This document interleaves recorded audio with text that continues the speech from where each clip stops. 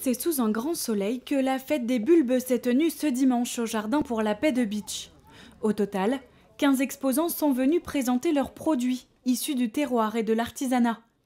La fête des bulbes est devenue en quelque sorte une institution pour ces producteurs locaux qui reviennent chaque année pour l'occasion. Parce que j'adore le jardin pour la paix.